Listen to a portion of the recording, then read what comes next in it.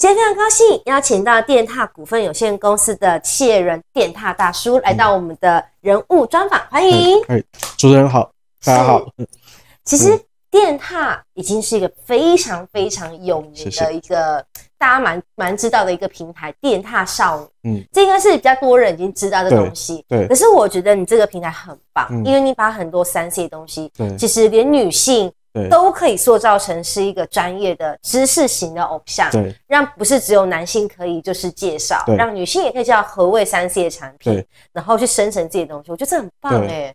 那那时候为什么会有这些想法呢？你也可以跟大家简单介绍一下电它的服务项目啊或者是还有一些其他什么样的内容呢？对，电它一直以来就是在努力的内容，就是所谓的脑袋产业，就是数位内容产业。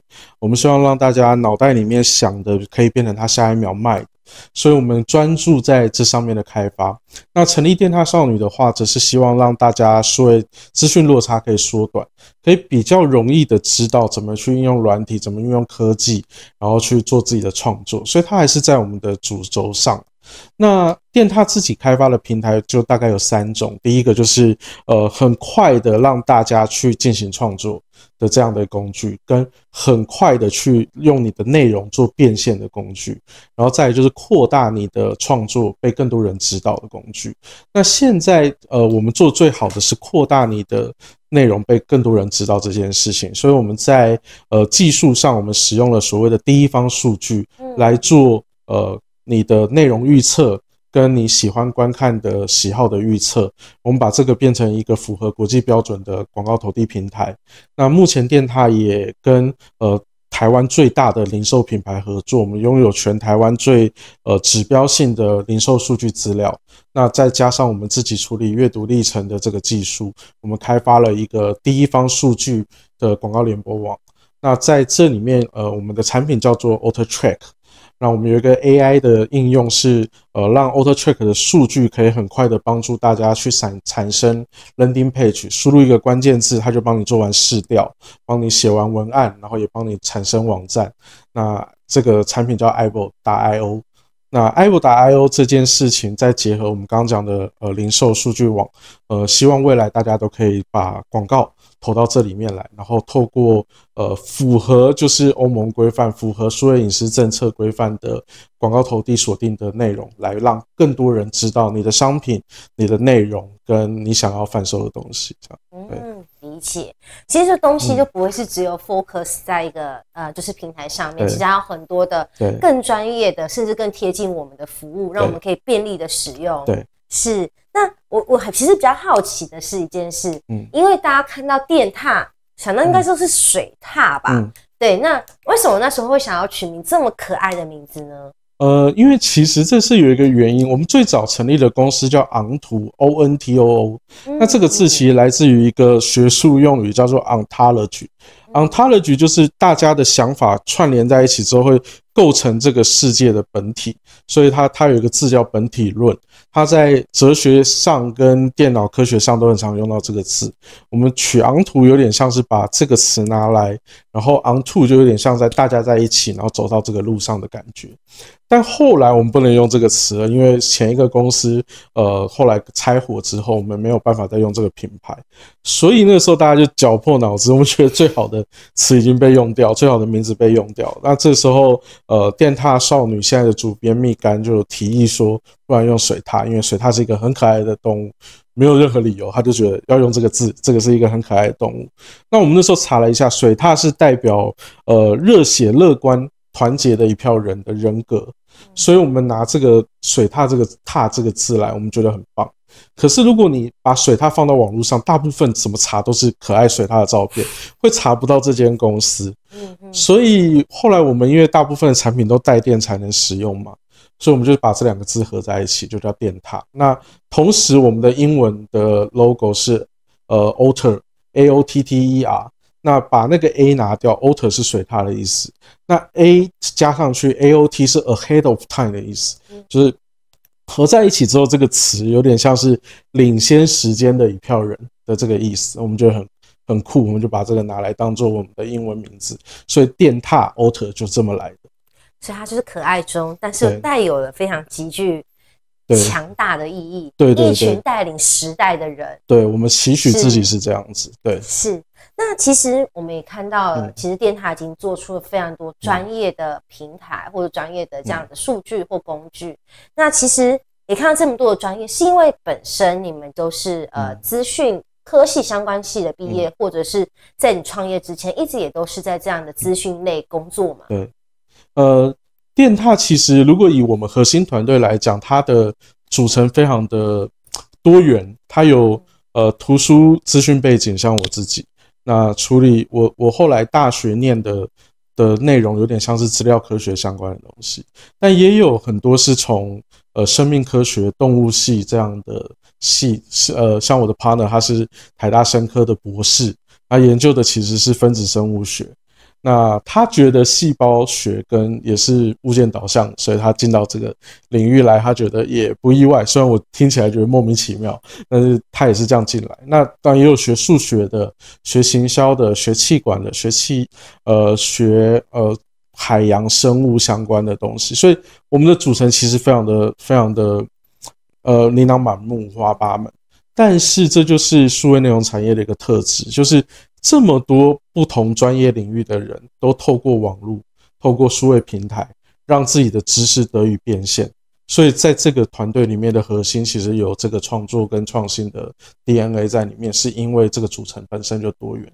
对，理解。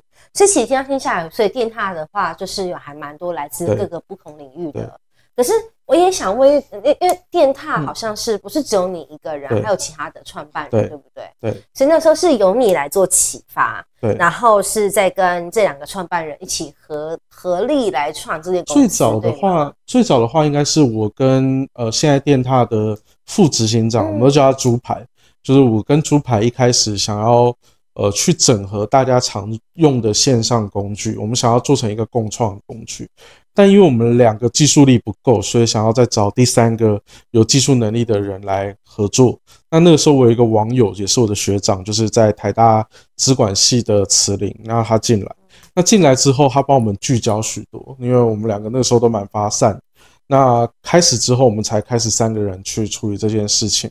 那其实，在这个过程里面，有一个猪排的同学啊，那他呃那个时候他知道这个计划，他不许我们去创业。嗯，但老实说，我们成立第一间公司之后，他后来就去开飞机了。所以他，对，所以他现在是机长。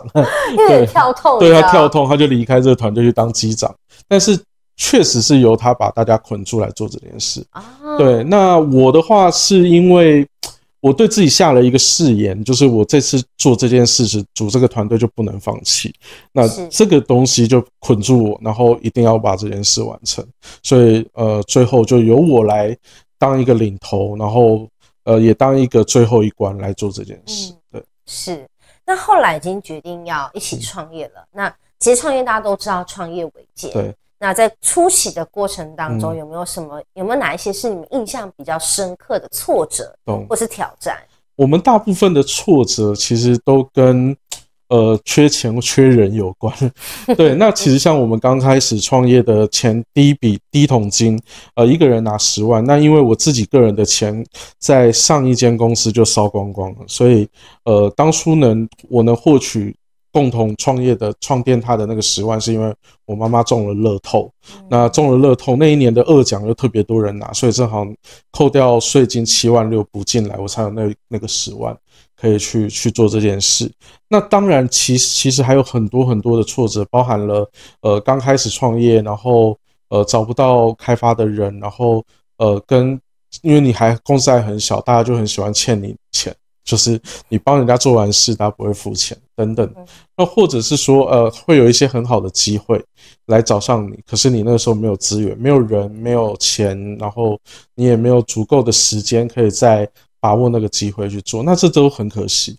所以这这几件事情应该都会是，呃，我们创业里面历经到比较大的。那还有一些啦，当然。就是当我们开始有了少女之后，变她少女的网红，那开始有目前人员，大家有粉丝，那我们对粉丝要做一些负责跟期待，但是人员会来来去去，那每一次几乎都会把我推到火线上。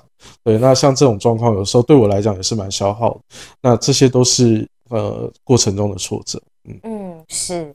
不过像刚刚也还是有提到的是，虽然会遇到这些挫折，但是你是怎么去度过它？有什么样的心态？呃，对我来讲，我觉得不放弃是我的底线，所以它算是一种诅咒。所以，呃，反正这个咒力非常的强大，让我在这一块就是这是我的唯一的底线。那在这个底线下，就要去想很多很多的方式，比方说，呃，我觉得创业一定会有这样，就你老板创业，老板一定会跑三点半，啊，或者是说创业的老板一定也会有。跟呃员工，明明他是你很厉害的员工，但是他的心跟你不太同一条线上，等等的问题。所以呃，你自己对对我来讲，就是我历经的很多，就是我要重新定位我自己。像我刚开始创业的前五年，我不觉得我是老板，我是呃跟着大家一起努力的人，或者是我是我的员工的大哥哥，对吧？我带着他们去走。可是后来我发现，我还是得当老板，因为呃这间公司如果他失败了，对对，他失败了为什么？他成功也好，他失败也好，最后大家只怪你，就是无论你把他带到哪一条路，大家都只看你。所以这件事情你最终还是得跳出来，把大家。带走，那这个就是一个很大的一个挑战。对，嗯，是因为我我老实说，你在访问我的过程，应该也可以感受出来，其实我并不是一个外向的人。对，可是很多人觉得我是外向，尤其我另外一个身份有一点点接近目前的人员，像网红这样。虽然我的我的非常多的粉丝会觉得我是很外向，但事实上跟我合作过的人都知道，我私下非常安静。啊，我只有在台上的时候很吵杂，然后在。可能在直播的时候很开朗，可是私下我没有太多的话。其实我会感受到的是，呃，因为你会觉得你现在做这些事情是有一个目的，对，或是说你要去用这件事情，你的曝光是，或是你的这个摄影或拍摄，然后可以把一些你想要传递给大家的一些想法跟理念，借由影片。或者是借由直播，可以让大家可以知道。对对，所以你会愿意做这件事。对。但是如果可以，呃，就是你自己一个人的时候，或许你会更喜欢安静的感觉。对，对我来讲是这样。嗯，对，因为你要忙的事情太多了。但，即使不忙，脑中想事情太多了。对，即使不忙，可能光脑子处理脑中、消化脑中的很多想法跟情绪，就就看起来就很像宕机的样子。我我的同事都会觉得我很常宕机这样。对。但我真的觉得还蛮呃，我觉得也是应该值得开心的事，就是你的生命中还有一个就是像羽球这样子的一个运动存在，嗯，就是让你的生活就是可以真的是有一个一件事情是让你在做这件事情的时候是可以不要再去想公司的事。对对对，羽球羽球对我来讲很重要，所以那台湾最近现在风雨球嘛，所以对我来说也很棒，因为打羽球的。的机会变多了，但我从小打到大，这个运动是让我舒压，就是一方面它会动到身体的每一个地方，然后同时，呃，球的维度很多，所以你光在打球下，你可以完全的释放脑袋的压力，这对我来说是很很理想的一个运动。对，是，所以我觉得，呃，其实电踏也一直在前进，但是我觉得当它越长越大的时候，嗯，确实，我觉得一定还是要保持这种，就是。可以让自己有舒压的一个状态，要不然真的你会太过于紧绷。我觉得哪天线断了，哪一天真的不然线断了，那个执着被剪断的时候，电塔就会变成一个确实啊，很很可怕的状态。但我的我的 partner 其实有意识到一件事情，他发现他发现我在这么高压的工作下，其实有衍生出一些自己疗愈自己的方式，就是我自己其实。常相处，如果贴身相处二十四小时，人会觉得可能又会，我蛮常听到朋友这样跟我讲，就是说你好像有两种人格，就是一种人格非常的严肃安静，然后呃拘谨，但有另外一种人格是非常的北蓝，然后讲话很好笑，然后呃就是就是很不正经。我觉得那就是真实的你，快乐的你喜欢的那个样子。但你现在有工作，你必你还有公司，你还有。好几个家庭，就是不是那个家庭，说员工的 员工家庭，对，确实，对对，你要背负在肩上，还有公司的使命愿，呃，使劲呃，使命愿景，这个真的是没有办法，对，所以那时候你那个人格就必须得要出来面对，对对对，可能吧，是，所以，但这也算是我把自己在呃想一件事情的方式上有两个不同的角度可以来看，这样。那很棒。对，那像刚刚有提到的，就是其实电塔到现在大概有多久时间了？呃，二零一二年的十月十八成立，所以到现在快十二年，对，也快要第十三年了吧？对对对，就是过了今年的十月十八就十三年。对，那接下来对于电塔有没有什么样的短、中、长期的规划呢？短期的话，我们就希望自己成为就是在台湾的第一方数据广告联播网跟广告技术的第一品牌。那中层的话，我们希望把第一方数据应用呃能带到海外去。嗯，那第三个长城来讲，无论是我们的自媒体也好，或我们的应用也好，我们希望在现在电塔既有的规划下，可以变成国际知名的一个创新应用品牌，大概是这样子。是。那其实我觉得已经慢慢的，你已经在朝这个目标已经越来越近了。是，那我相信接下来未来的某一个时间点，电塔一定可以被大家广为所知。但是你现在很多的年轻人也都一直有看到电塔的成长，嗯。但这些年轻人也想要就是以你们为目标，然后也想以这些资讯呢来成为自己的创业的工具，嗯。或是来也也也让自己可以创业。嗯。那你会想给他们什么样的建议跟见解呢？我觉得创业的人是，呃，天生适合创业的人其实非常稀少，所以我会建议，如果你真的想要创业，然后走一条呃非寻常的路，你可能要给自己几个心理准备。第一个，这条路会非常的辛苦，那你不能以赚钱为你的唯一导向跟目标，因为赚钱老实说是容易的，也最困难的，呃，看你赚多少钱。嗯嗯，对，那这是容易的，也困难的。但你要一件事情做得久，你必须要一个核心的宗旨。那成立一间公司或成立一个团队，那或者是塑造一个品牌，它都是需要跟着这个核心宗旨往下走。那你必须要有中心思想才走得远。然后它是一个影响你一辈子的事情，无论你在中途是不是喊卡喊放弃了。这个创业都是影响你一辈子的事情，所以你必须要做好非常好的准备。然后这个准备不见得是说你第一步准备踏出去之前，你就要先把自己弄好，不是，而是当你踏下去的时候，你的心里面要知道，我踏上这条路，我是没有办法回头。对，这这个是一个我觉得呃必须要让年轻人知道。然后再来就是我认为呃最近很常有人讲，就是完成比完美重要。我也是信奉这件事的人，完成比完美重要。对，所以我会我会认为说，呃，一旦你开始，你就要记谨记这句话，你每一天都要往前推进，你才有办法在这个创业的路上留下一些东西。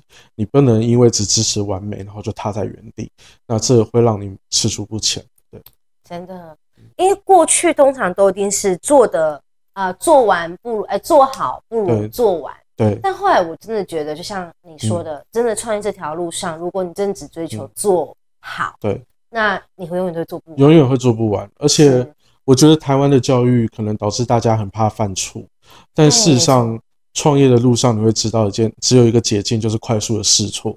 你要知道这件事情做下去之后的结果是什么。那它会成功的点不在于你做错了，而是在于你多快去修正它。对，我觉得这是最重要。嗯，我觉得其实像呃谢仁执行长给大家真的一个很好的一个很真的非常非常实际的点，真的就是创业是辛苦的这件事，大家都是知道的。嗯，但是你有没有做好这个心理准备？对，然后踏上这条路之后，就是你有办法勇敢的去面对。对对，那甚至于我觉得像你刚刚提到的，做呃做好，做好比做完更做完美。呃，做完比做好更重要，做完比做好更重要。因为你在每一次的做完的，其实它它就会进入到下一个循环的 P D C A P D C A P D C A，然后就会发现，其实你这样才可以赶快的知道你的东西可以如何更成长。对，应该是要做中做中学，学中做，让它更优秀会更好。是，那我相信其实很多年轻人也都可以透过今天电塔大叔的故事，嗯，然后也可以有所启发，甚至于给自己一点力量或是灵感，嗯，对。那今天真的非常感谢我们电塔股份有限公司的谢仁电塔大叔执行长来到我们的人物专访，好谢谢，谢谢，谢谢。